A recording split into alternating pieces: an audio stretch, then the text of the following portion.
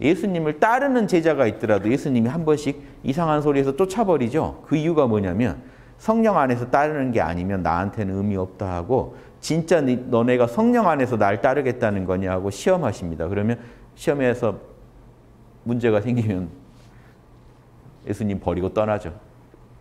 욕심으로 예수님한테 매달렸다가 예수님이 내 욕심을 안 들어줄 것 같으면 떠나는 거예요. 근데 성령으로 찾아온 제자들은 남아요.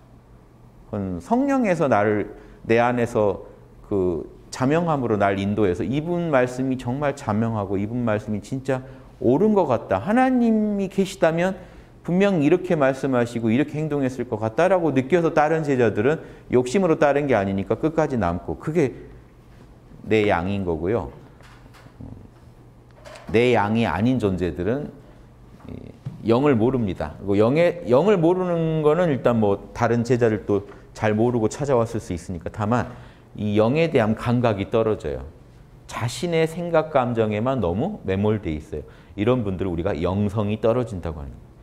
참나를 아직 모르고 성령을 모르더라도 모르더라도 내면의 자명찜찜의 신호를 더 많이 듣는 분들은 영성이 높은 분들이에요. 그래서 성령의 신호를 더 듣고 따라온 거예요. 그러니까 자기도 모르게 성령의 뜻대로 움직입니다.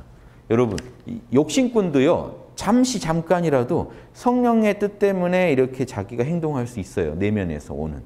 왠지 이게 자명한 것 같아서 딱 얘기하면 사실 성령이 보내는 신호입니다.